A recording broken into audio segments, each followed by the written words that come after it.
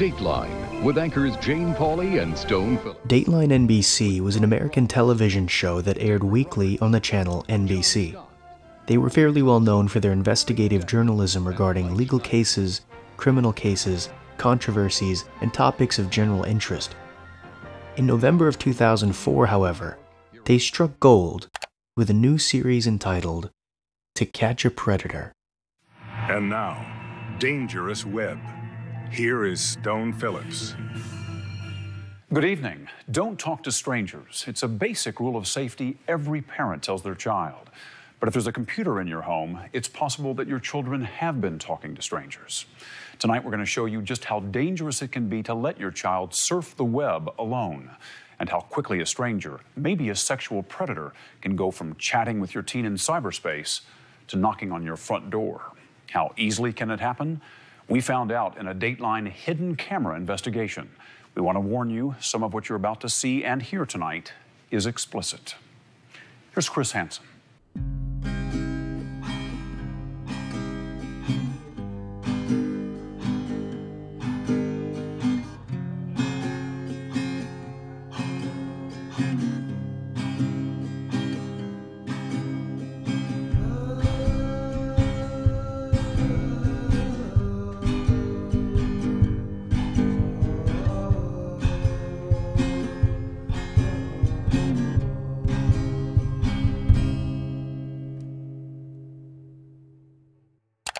Catch a Predator was a show that revolved around the Dateline team partnering with the online watchdog group called Perverted Justice. They would troll online chat rooms pretending to be an underage teen, wait for men to solicit that underage teen for sexual activity, start a dialogue with the predator, which would ultimately culminate in the predator driving to the supposed underage teen's home with the prospect of a sexual encounter. Once at the home, though, they would find no underage teen simply a decoy pretending to be one. And this man, Chris Hansen, who to this day is still widely recognized as the godfather of internet predator hunting.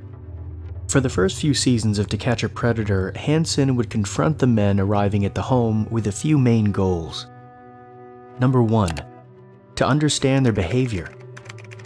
Some of the men who arrived at these sting operations were, all in all, losers in life for sure. However, there were quite a few with very prominent positions in the community, such as school teachers. What was the uh, lesson plan for tonight? I'm sorry. Sorry for what? I thought I thought this was a joke. You thought what was a joke? I should have known better. What did you think it was? Truly, truly a setup And why would somebody try to do a setup on you? to catch people that shouldn't be talking to teenagers. People like you. Definitely. Well, no, this is the first time I've done this. The first time. With the underage person, yes.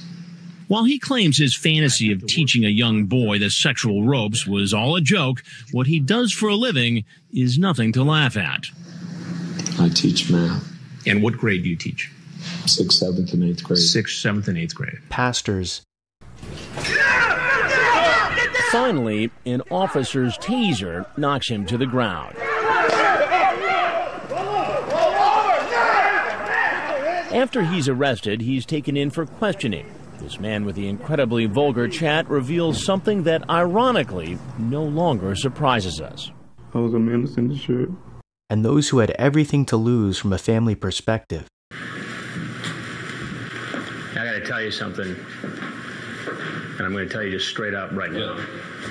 I'm Chris Hansen with Dateline NBC. Okay. We're doing a story on adults eating children, and since you have your child here, I'm not going to pursue this. Okay. But I think you know what you were doing here, don't you? No, I was just doing the some exclusion. Take a take a boy out to lunch you met on the internet. Yeah, I'm sorry. My point is, because your child is here, I think it'd be best if you just went ahead and left. Yeah, I agree. I never gonna do this again. And of course, Frag is talking to the police saying, you know, this has got to be a different sort of arrest. Rob, we're going to send this guy out. We're not going to interview him because he got his kid. Sir, right there. You come here. You come here. Let go of the child.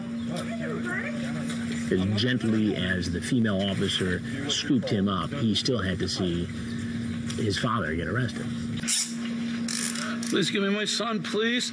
left hand right now. It's just Can we please have my son, please? Dennis. Did somebody get the car seat out of his vehicle? You got to remember that these guys who work with me on the wife, children, and friends, and even those with political power. We'll talk about one of those in a little bit. 2. To expose this kind of behavior in the hopes that it would serve as a warning for parents to keep an eye on their children and monitor who their children were talking to online. The rise of To Catch a Predator came hot on the heels of the tragic murder of 13 year old Kacie Woody at the hands of a man she had been speaking to online. With online and internet safety thoroughly embedded in the minds of the American public, it was no surprise that people absolutely ate this show up. Also, astonishing even to the creators of the show were the amount of men who were so enamored by a fake underage teen that they would even show up to the Sting House. Even those who believed that it might be a sting operation. This not only solidified predatory internet behavior as a definite problem, but also revealed tactics predators would use to gain access to children and how parents, in turn, could counteract it. Number 3. To embarrass them. And what he does when he shows up will be hard for you to believe. You want to explain yourself? Well, I would love to go for a ride sometime. Well, I'd, I'd love to take you. Where exactly were you going to uh, take her in that truck of yours? Well, I was just going to take her around, you know, just see, you know, see certain places, you know, and just talk Like, to her. so Lieutenant, what's up? What are we investigating tonight? Nothing much. I just wanted to talk. I swear to you. You know, she. How were you going to use the condoms in the I wasn't going to use them at all. You got them in your pocket.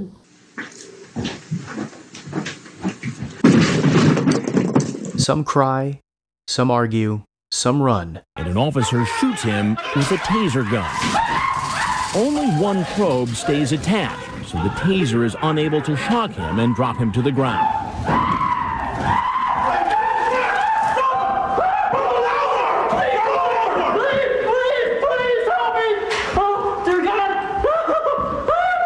Some simply shut down or accept it. Goddamn ground! Oh, please, God! Please, sir! Get on the ground! Let me see your hand. Oh, Lord. Oh, Lord. You're fine. Oh, Lord. But without fail, each one of the men caught on To Catch a Predator was subjected to a great deal of deserved embarrassment for their slimy, grimy behavior in front of the entire country. And as the show grew in popularity, that potential shame and embarrassment became a genuine concern for predators who were trolling chat rooms looking for kids. Many of them becoming familiar with the show and knowing there was a possibility they were walking right into it. Do you ever watch television? Yeah. You ever watch Dateline? Dateline? Dateline NBC? Have you ever seen our stories on computer predators? Yeah, I've seen it. This is one of them. Oh, no. So even after seeing our previous investigations, watching men being confronted and arrested, he wasn't discouraged from doing the very same thing. And as you'll see later, he's not the only one. For the first few installments of To Catch a Predator, the men would show up to the Sting House, be confronted by Hansen, and then be permitted to leave and go home. Their information would then be forwarded to the local police department should they choose to pursue the individual. Later installments, though, and for a majority of the show's life cycle, law enforcement would be present on scene and immediately after the Predator's interview with Hansen would be swiftly arrested and taken back to the police station where they would be subject to more shame, embarrassment, and criminal charges. As the doctor looks for a towel, he spots Dateline's camera crew. I gotta take off. Sir, sir, I need to talk to you for a minute. He runs, but he doesn't get very far. Oh. yes, yes, On the ground. I wasn't going to do it. On the ground. Get on the ground. Get on the ground. Get his keys. I wasn't doing anything. Oh, man. I wasn't doing anything. Get his keys. I wasn't doing anything. Why, why don't you explain that to me?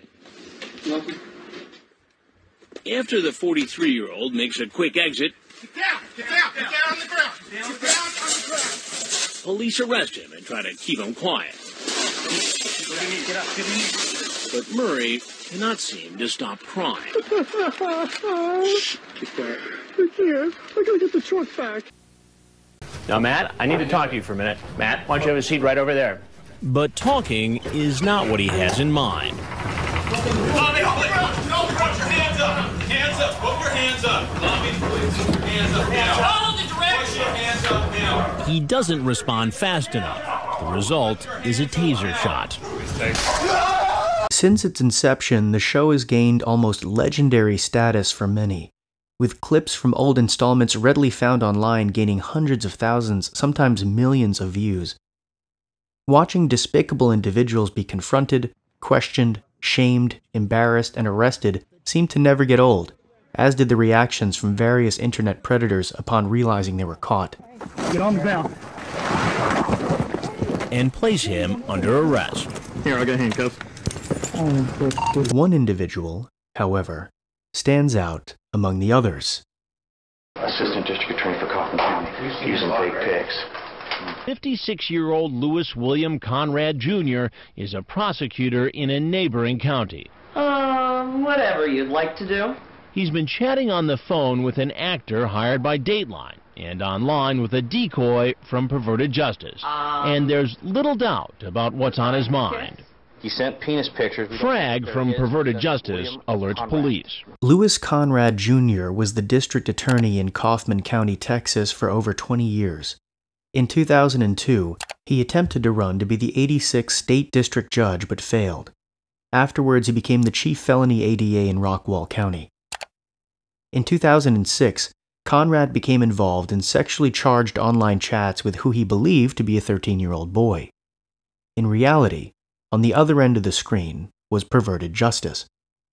Throughout the chats, Conradt portrayed himself as a 19 year old university student. In reality, he was 56 at the time. He sent pictures of what he claimed to be his private region to the supposed 13 year old. Around this time, Perverted Justice began to try to engage Conradt on the phone by using a decoy to play the 13 year old. However, shortly after this, Conradt stopped responding to messages and text. Information on the social media profiles he was using to speak to the underage boy would slowly start to disappear. Worried that Conradt was deleting evidence, law enforcement, including local police and SWAT teams, as well as Perverted Justice and Dateline NBC, descended on his home on November 5, 2006. The officers line up in formation and head to the back of the house. Then we hear a faint crack the officers force their way in. While SWAT teams were combing the house, they ran into Conradt in a hallway. He was holding a Browning 380 handgun. After saying the words, I'm not going to hurt anyone, Conradt shot himself in the head. The backlash from this incident affected almost all parties involved law enforcement, perverted justice, and Dateline NBC. Lawsuits and accusations were filed and settled. And about a year later, To Catch a Predator would be quietly canceled by NBC, marking the end of the beginning of a whole genre of crime content.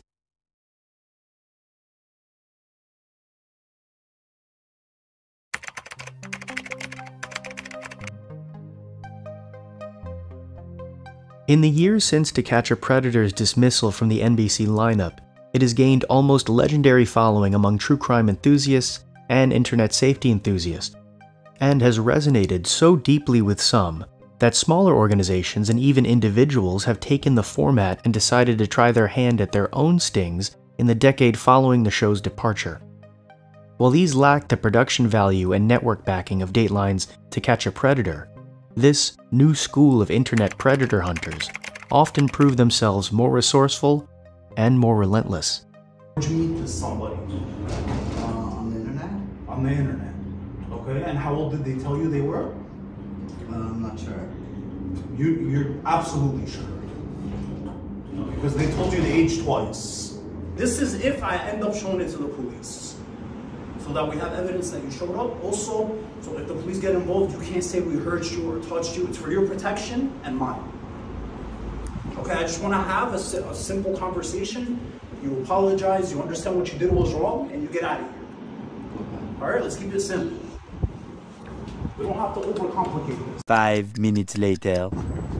You sure that's what you want to do? You, you understand you committed multiple felonies. You, when, when, when, when he told you he was just help me comprehend why you didn't block him. That's all I want to know. Well, I was gonna meet him. I just wanted to talk to him. I Oh. wasn't gonna do anything. to So him. why, I why, wanted to- why, why'd you tell him you wanted to have? Uh, I've never done that. I wasn't gonna do that. but why would you say it in the messages? I didn't. He said it. No, no, no. He, He said, "Are you?" He said, "Do you have any?" You were talking from the beginning. Five minutes later. and what are you planning on doing with this footage? You're not gonna post What it you- online or anything like that? I told you it's for protection. Okay, no, but I'm saying maybe you have a YouTube channel. No, no, like no, that. no, no. YouTube. Why they do this on YouTube? I don't know. That's actually a good idea. I've, I've never done YouTube. No. Is is why why YouTube? You know, I was just doing something out there, but you can continue. Do, do you think do you, do you think I'd be a good YouTuber? I don't know. Because I, I catch a lot of, but usually I work with the police if they don't cooperate. But I've never done YouTube in my life. Do you, do you think I, I- I would make a good uh, know. YouTube get exposure? the- Okay. So my question is, when he told you he was, why didn't you block him? Well, I actually didn't believe you. A few moments later. Get out of here. Look, I'm gonna. Stop. Whoa, whoa, don't touch me, bro. Yo, get the camera. Look, down. yo, to be honest here. with you, if you touch him again, you're gonna get dropped. Listen, I don't See, that's you guys. You exactly guys are in my that's, that's exactly what I mean by sometimes people like you get physical, right? I'm not getting If I wanted to be, are getting in my if, if I wanted to drop your ass right now, I have every right to do it because you assaulted my cameraman. But the goal of this That's, is that's not what I'm trying to do. I just want you guys to leave me alone. okay. Why would you try to have? Huh? That's not what I was doing. I just don't understand why you thought it was a good idea. Uh, pretty much the conversation. This is the conversation. He he discusses he's into just um right here we tell him um go press play. Is that okay? I usually get with older guys. He goes, you got more pictures? Yes. So that's the decoy. He's, he's not actually. We, don't use actual. But uh, you could pass as one. He goes hot. Thanks. What's your nationality? Indian. Nice. I'm Italian. I love Indian. Yeah. So the video, it's, it's Everything like is- yeah, it's like a 30, 40 minute video. I can email, airdrop, whatever. Okay, yeah, so that that um, video is probably gonna go to the Detective Bureau. I'll Yeah. give you guys an email. You guys forward it there. 100%. And then they'll probably, uh, not probably, but they're, gonna, they're gonna follow up with you guys. Okay? Um, I'm gonna call my supervisor real quick, let him know what's going on, and then I'll let you guys know in a second, okay? No problem. Thank Give you me so one much. second, no problem. Now, we can all agree that the less people out there trying to solicit children, the better.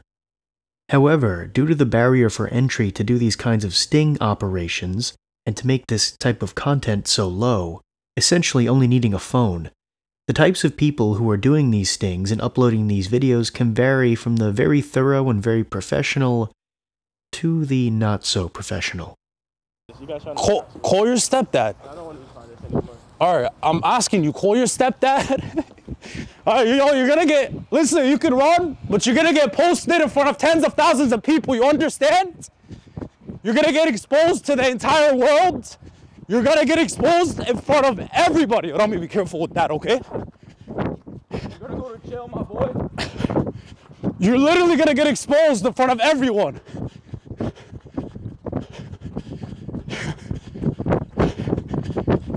That's your license plate. It's okay. Let him go. Let him go. Let him go. Let him go. Yo, you got that on camera? Let him go. Let him go. Let him go. Yo. I'll meet you at your car, bro. Say hi to tens of thousands of Some groups, however, are much more thorough and will go through the steps necessary to legitimize their organization, such as being in contact with local law enforcement, knowing what information will be valuable to get a conviction later down the line, and what won't be admissible, and even providing resources to the subjects to get psychological help if they choose to.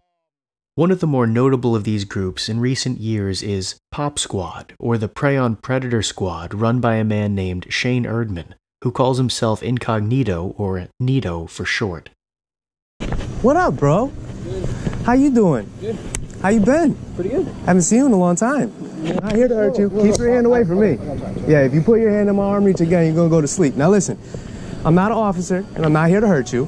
I just want to have a conversation with you. Yeah. All right? So what are you doing here tonight? I'm just from CVS. You're just coming to CVS? Yeah. You sure about that? Yeah. Really? Oh, okay. You sure you're not here to meet nobody? No. You do know that I know that's bullshit, right? Okay. No, it's not okay. No, I don't. I, I, What you're here no, for is super not know, okay. I no, I'm actually. I'm, no, I just want to talk to you seriously. All right, so yeah, talk to me seriously. Because actually coming here, I was having second thoughts because I, I wasn't gonna do it. Stay outside of my arm reach. Okay, here. You already I'll raised your hand the wrong way? Here. All right, cool. Can I put my hands behind my back? Yep, fine. All right. So I was already, I was already having second thoughts about it. Like honestly, like I wasn't gonna do nothing. I was gonna just talk to her about it. So let's take it from the top. Yeah. Let's get out of the way. Yeah, let's get that this Can way, we- just so we we're. go over here? Huh? Yeah, fine. Let's go near your truck. Because I, I don't, I don't want to think I'm gonna like I don't want you guys to think I'm gonna hurt. No, we're gonna go through everything. We're gonna go through everything real quick. Go ahead. You can s- stand near your truck. I've seen it here All right, fine. because I don't want to like hurt, or, like say like say anything bad or something. But, You don't want to hurt or say no, anything bad. no, What's that didn't- mean? I didn't want to like make you guys think I'm like gonna do anything to you guys. All right, so from the, I know you're not doing nothing to me or Yeah. him. Okay, Yeah. there, there's Yeah, nothing you could do. Yeah, but exactly. Mm. listen, so listen. All right, from the top. Okay. Who I, are you here to meet? I was here to meet. I I don't know her name. What's her name? Whatever you guys, whatever her name was. What's her name? I honestly don't. Think for a second. You were just talking to her the whole time, circling around the parking lot and stuff, waiting, Yeah. saying that you weren't here yet when you were. No, I, w- I never said I wasn't here yet. Yeah, you did. You said that you're on your way. You're okay. close. When in fact you were here circling. We were watching Okay. you the whole time. Okay.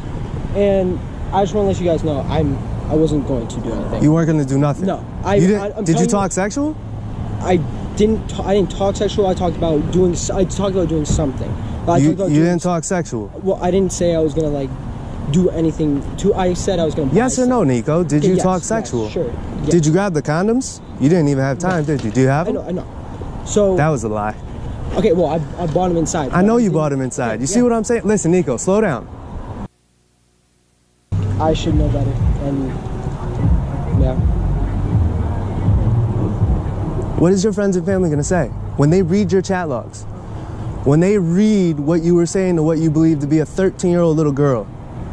It's it's not gonna be good. They're gonna be disappointed. Um. Yeah. Do you have a little sister or a little cousin or anything like that? What would you do if somebody came out that was saying all the same exact things that you were saying? I'd be pissed. You would be pissed. Yes. That's And it? I, I'd be I'd be angry and I'd want to do something. And I, I understand what I did was wrong. You understand what you did was wrong, but you're still here. Well, I would not want to be here. Yeah, honestly. Yeah, you're only remorseful because you got caught. Period. That's all this is. And I'm glad that you're, you're admitting that. We are going to send you a link. What you choose to do with that link is on you. If you choose to reach back out through my website and you want to do a re-meet months down the road when you're getting some help, I'm open to that. Most of you guys don't do that anyway. See, you're saying okay before I even finish my sentence. This is the prime example of the bobblehead. I, I have I have a question though. So like. Go ahead. So you have a website and like you you try and help people through this. No, I don't try to help you guys at all. What I'm doing is raising awareness so you guys get what you really deserve. I don't want you to be confused by my tone or by me saying I'm going to send you a link that I'm really going to help you. Yeah, I'm sure there is. Somebody probably called, as they should. Right? Yeah. So, let's see what they have to say. Yes, definitely did. How you doing, bro? Oh, you're good. Nice to meet you. What's up, man? What's going on? All right, I'm known as Nito. I don't know if you ever heard of Pop Squad, Prey on Predators. I catch predators and pedophiles around the country. Um, I'm just recording. He's trying to get away right now. I'm just recording this man. I know you guys can't take immediate action because of how the system is anyway, but this man came out to meet what he believed to be a 13 year old girl for sex after a whole bunch of sexual uh, Hey, boss. conversation. Talk to that dude over there. While Incognito appears to maintain the stance that every single individual of the hundreds of individuals he's chatted with and confronted are without exception absolutely reprehensible individuals, he provides them resources to get help, and at times offers to even meet again under calmer and voluntary circumstances to see how their journey to get help is unfolding. Fox 61 Chief Investigator Brian Foley, you spent today digging into Pop Squad, figuring out how they do the work that so many people now rely on. Yeah, in my previous career, I remember looking into these guys and, and trying to find out, you know, what they did and how they did it. So I wanted to meet up with them today and, and see exactly what they did and how they did it. It was pretty cool stuff. I've been doing this for 16 and a half months. Wow, why'd you start doing it? Uh, I was curious at first. I wanted to see how many guys were actually around here because we all have the naive thought that, you know, we know it's out there, but it won't happen around me, won't happen in my house. So once I saw how many there were and that I could render different results, I decided I had to keep going. All right. I got to ask you this. Are you a victim yourself? No, Okay. You? No. Do you contact police? no. We never reach out first. Uh, I learned early on that that creates a lot of loopholes for the defense later on to possibly, you know, try to argue entrapment or Yep. anything like that when you know yourself So that you're not working as an agent for the police? Exactly. We're not law enforcement, so that doesn't apply. So by doing that, I avoid all that. So the public makes a complaint, or an officer might see somebody that's in his jurisdiction, and then they reach out to the website. At that point, I give them everything they need from the first initial contact, all the chat logs, uh, the transcripts from text messaging if they went over to texting, and then I give them the raw video footage of the actual encounter. Have you had to testify yet? No. Nobody's taking anything to trial. It's airtight. Everybody takes pleas after they get as many continuances as they can. This is like the ultimate volunteer work, and, you're like the ultimate witness uh, to provide all that type of information. I mean, sometimes victims and witnesses are reluctant to come forward in this type of these types of crimes. For years, and that's the thing that I see a lot. When you ask, you know, do I do I get thank yous or do I hear from you know victims? They'll tell me their story and be like, you know, I've never talked to anybody for that, but I saw your videos and I'll get like five, six page What do the letters. cops say to you? Um, off camera, off camera, you know, they're the regular dad at home and they agree with everything I do, and then on camera, it's a different story. How old your decoy? He was 19 at the time. He's 21 now. How old do you look? He looks really young, but he's six feet. So the people that like believed it, it's, I mean, there's tall kids, but you know what I mean. He shaved up for the live meets though. Let me ask you this. Hmm. Why do you do it? It needs to be done. And once I started meeting a lot of cops that were saying I was doing a better job interrogating than some of the guys that they've worked with for years, I was like, well, that's odd. You guys go to school for this, and this is all self-knowledge and things I've been into since I was a kid, long before this. So I have to do it. If I don't, who's gonna? Incognito will frequently confront the predators in a public area in a calm yet assertive voice, state his intentions clearly, make it clear he's not law enforcement before engaging them in a conversation that has essentially the same goals as To Catch a Predator did to get a glimpse into their pattern of thinking, to expose their behavior, and to embarrass them. And these channels do a fine job with that last part.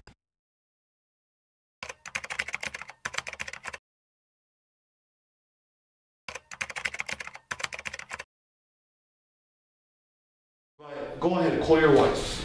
Put your phone on speaker. You're gonna have to let her know. And then I'm gonna speak to her. Yep.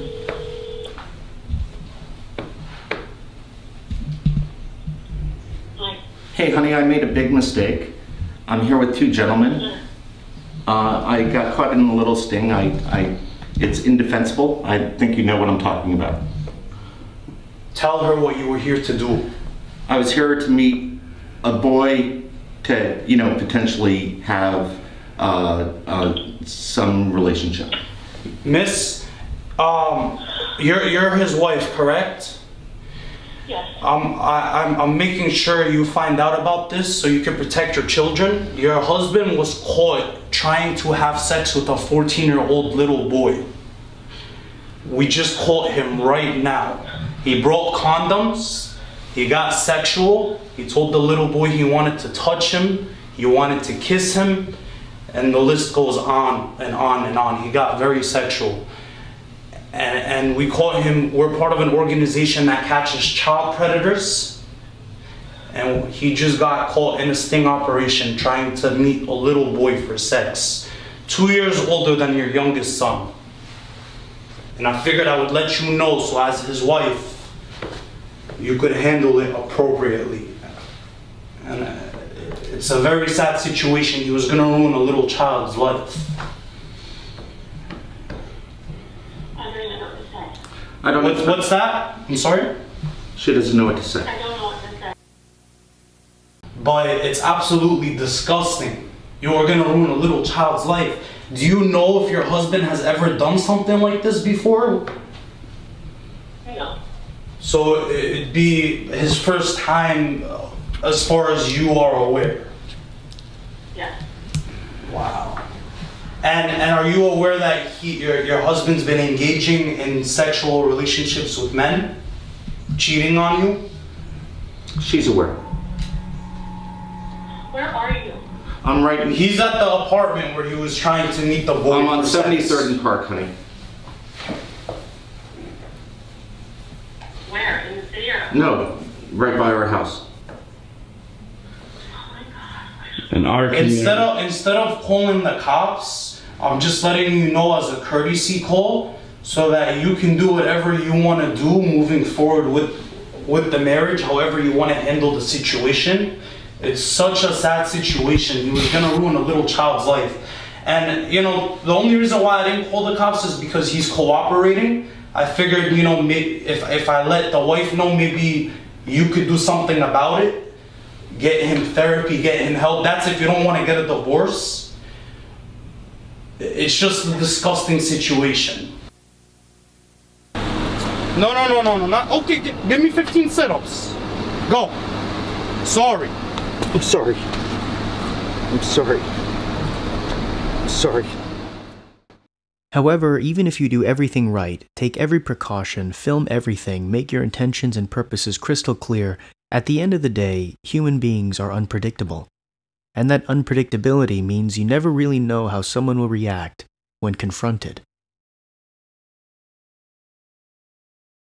On the evening of October 19, 2018, 20 year old Elaine Vincent Malcolm traveled from his home in Torrington, Connecticut, 30 minutes away to Bristol to meet who he believed was a 14 year old boy for a potentially sexual encounter. Instead of meeting a 14 year old boy, however, he met Pop Squad and was confronted by Incognito. When the encounter had concluded, Malcolm, well aware that within the next few days his actions would be exposed to all of his friends and family, drove back to his parents' home in Torrington and committed suicide by hanging himself. When news broke of Malcolm's suicide the following day, Pop Squad quickly removed the video showing their confrontation with him. Many who were aware of the situation took to Malcolm's Facebook to comment things like, burn in hell and good riddance. These comments were publicly able to be seen by Malcolm's friends and family. Under the YouTube video outlining the whole situation regarding Elaine Malcolm, which is independent of Pop Squad but re uploads their content, the uploader says, Personally, I have no sympathy for that guy. Yes, it's tragic that someone committed suicide, but when you see what he did and what he was going to do, it's really hard to feel bad for someone that was willingly going to take advantage of a child. I don't care what kind of person people thought he was, or even who he was to begin with.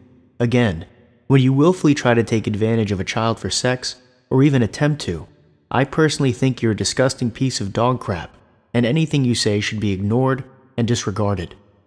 Comments under the video primarily echoed this sentiment. The problem took care of itself. Awesome. Not all these stories typically end with good news like that, unfortunately. As far as I'm concerned, he redeemed himself when he committed suicide. I love feel good stories like this one. Don't you love when the trash takes itself out? Another commenter writes, Wait, are y'all actually proud that you brought a man to suicide? I understand he's a predator, but I don't think the end goal for exposing a predator should be to drive him to commit suicide. Instead, help him get better or even just contact the cops. Death is not the answer to anything at all. The responses to this comment were mixed. In response to Malcolm's suicide, NBC wrote and released an article painting Pop Squad and the groups like it as uncontrolled vigilantes, taking something into their own hands that should be handled by the authorities. In response, the internet predator hunting community labeled the article's author, Brandy Zadrozny, a pedophile apologist and predator supporter. And again, while everyone can agree that predatory behavior is absolutely reprehensible, inexcusable, and deems the highest level of legal and institutional punishment and the widest level of embarrassment and shame, the divide seems to be between those who believe that once someone is exposed as a predator, that individual's life from that moment forward has absolutely no value, and the world would genuinely be a better place if that person did not exist within it. Versus those who feel like predators are not beyond redemption, provided they are adequately punished, shamed, and given proper psychological assistance and accountability. The counter to the former is that many believe it's wrong to take pleasure in the loss of any human life, and even the most despicable among us have redeeming qualities or the penchant for absolution. The counter to the latter is that for a majority of true predators, the desire to prey upon underage kids is hardwired into their brains so deeply that no amount of psychological therapy or conditioning will be able to remove it. which is why so many are repeat offenders. Also, by the time many of these individuals are caught, they have most likely already engaged in dozens of sexually charged conversations with minors. Whichever side you fall on probably depends on your immediate response to finding out that Elaine Malcolm committed suicide. Regardless, the death of Malcolm didn't affect Pop Squad in the same way that the suicide of Louis Conradt Jr. affected To Catch a Predator. They continued uploading videos after that, although now it seems they have ceased uploading videos altogether mainly due to YouTube cracking down on these types of channels over the past year or two years. However, there are still a number of internet predator hunters that still upload videos to this day.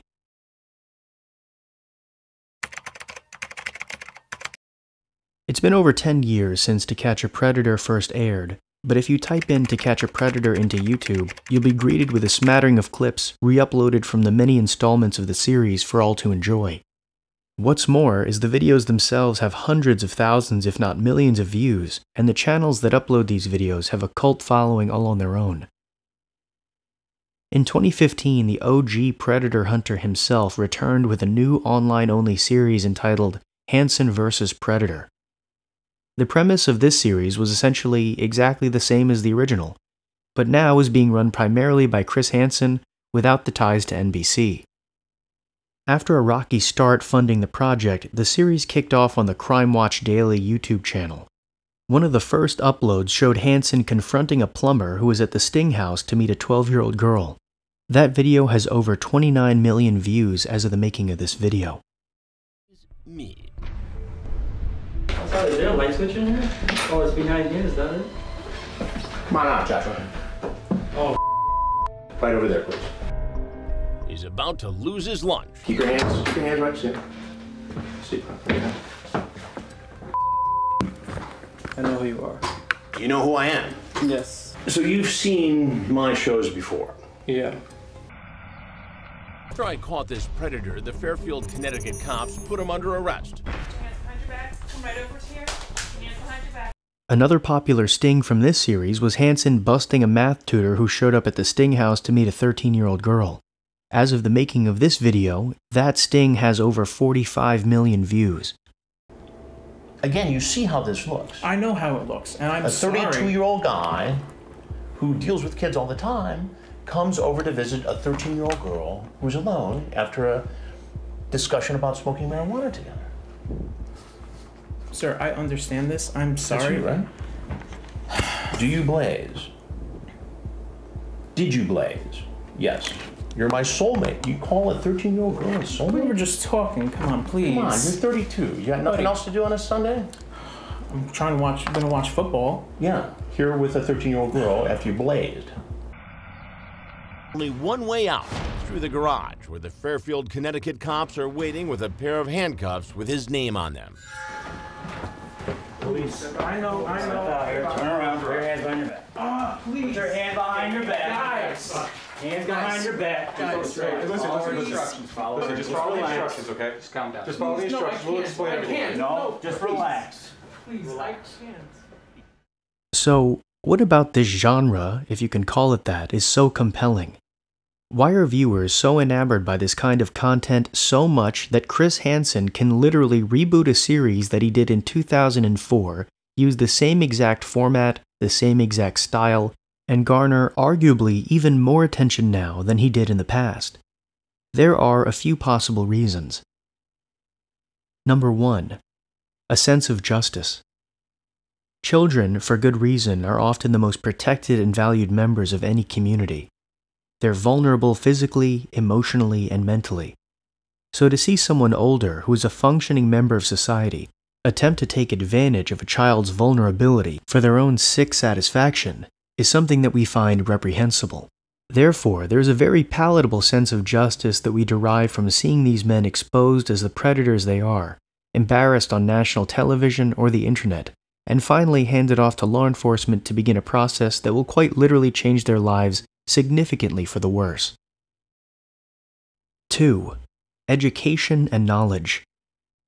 Well, I believe that this reason is probably on the smaller side of reasons people enjoy this kind of content.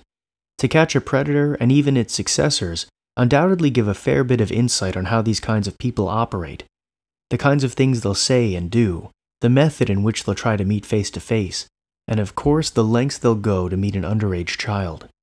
This, in turn, can assist parents in keeping a watchful eye out for these kinds of things in order to protect their children from inadvertently getting tangled up with one of these individuals. And finally, number three the fascination with watching someone's life fall apart. The term voyeurism is quite often associated with sexual gratification. However, another definition is deriving or relating to enjoyment from seeing the pain or distress of others. And you certainly get a great deal of pain and distress with this genre of content. Put your hands back your head, back your head. On your knees, both knees, both knees. I, I really wasn't going to do anything. Stand up, Dad. I swear to God. In my mind, is why he became so emotional. Smith later pleaded no contest to two counts. Runs out the door as soon as he sees me. He's running. And gets tackled by investigators. I'm extremely sorry, sir. I appreciate that. And I hope I don't go to jail or anything. Thank you. But he will end up in jail tonight. He's coming out. The police from the Ocean County Prosecutor's Office move in and arrest him. Please don't move. Lay flat, lay flat. Lay flat. Relax. Relax. And we're doing a story on men who try to meet underage kids online for sex. Abdallah doesn't want to talk to me anymore. Outside, the Flagler Beach police are racing into position. Thinking he's going to run, the police come down hard. You know what? I don't want this cookie. I just want to get to the beach. Come here, just one second, sir. But generic white male won't be going to the beach today. As he heads out the back, he stumbles off the porch right into the arms of the Fort Myers Police Department. The police quickly take him down to the ground. However, this isn't to say that if you enjoy anything in the predator catching genre, or TCAP as it's often referred to, you're some psychotic individual who gets off on the suffering and misery of other people. That's not the case at all. There is something inherently interesting about someone being publicly confronted on what was probably their deepest, darkest, most vile secret, and having that side of themselves publicly displayed. There is also something compelling about watching someone's life literally fall apart in front of your eyes. It's a genuine, unadulterated, raw emotion. And usually, when we see someone's life fall apart, there's a significant amount of empathy or sadness we feel for that individual, even if it's someone who has made bad decisions. But, with predators, as we've seen during the course of this video, typically garner little to no sympathy from the general public or viewers, as they are regarded the lowest of the low on the totem pole of those who engage in criminal activity. Someone who would take advantage of or hurt a child. So when we watch their lives fall apart, on national TV or on the internet, we can simply enjoy what we're seeing without the strings of sympathy or guilt holding us back. Because who could feel bad for a predator?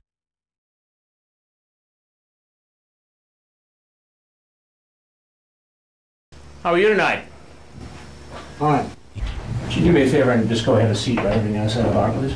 It's a little late to be prowling around these parts, huh? Yeah, it is, isn't it? Why don't you have a seat right over here for me? Actually, I want you to come here. That's what I thought. And I'm going to tell you just straight up right now. I'm Chris Hansen with Dateline NBC. What was the uh, lesson plan for tonight? Hey, Boo. Hey. You have a seat right over that stool right there for me. You want to explain yourself? Where exactly were you going to uh, take her in that truck of yours?